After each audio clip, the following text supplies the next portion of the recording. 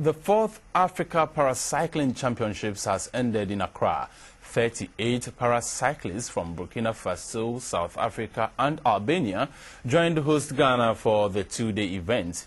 Team Ghana's Yao Konsa, Aisha Yaya, Alim Mumuni, Bismarck Che and Emmanuel Ajin gained maximum points in the 12th round competition to win the yellow jerseys and gold medal prizes at stake. They will represent Ghana in the C-class hand cycling and blind visual divisions at the London 2012 Paralympics.